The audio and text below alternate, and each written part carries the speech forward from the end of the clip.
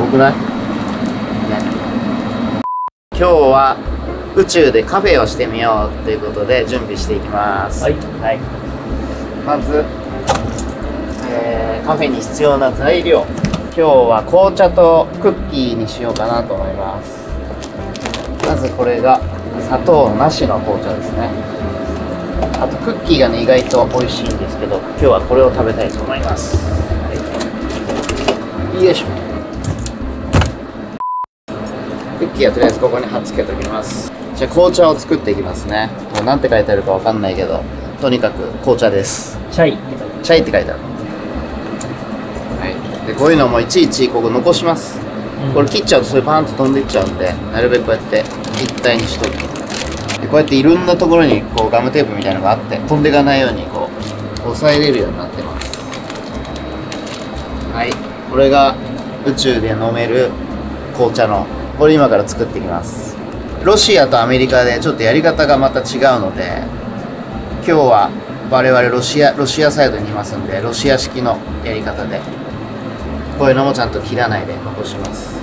でこの袋の中に直接あったかいお湯を入れていきます。そのお湯はここから出てきます。このマシン。なんていうマシンかちょっとわかんないけど。いきます。これをオープンして。おお濃いめが好きなんで150ぐらい。にします236もう1回ぐらい。かな7はい。でこうやってタオルを使って抜い。てでこれすごくよくできてんだけどこうやってやったらもう漏れない。んだよねこうこうやって閉じたらすごくない。ねでちょっと見ると分かるんだけどどうしてもねこうやって空気の空気が入っちゃうんだよね。この空気も一緒になんつうの飲み込むことになっちゃうから少しこうお腹にガスが溜まりやすいです宇宙は。地上でもすごいおならばっかしてんだけど 宇宙でも相変わらずおならばっかしてます。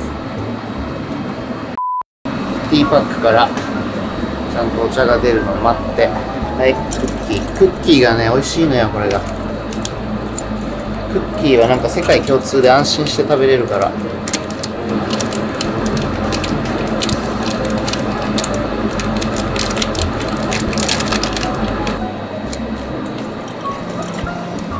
ああこういうのやっちゃうと失格、うん。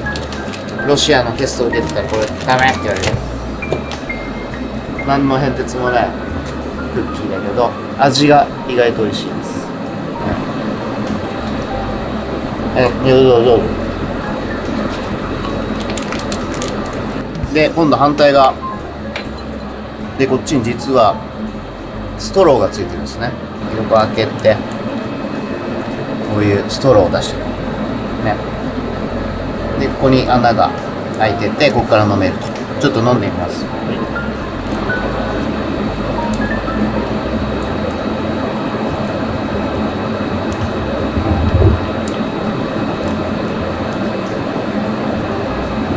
うん。熱い。これちょっと実験だけどちょっとだけ見てて。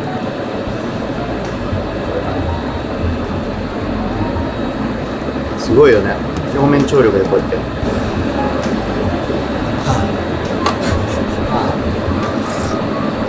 美味しいですか？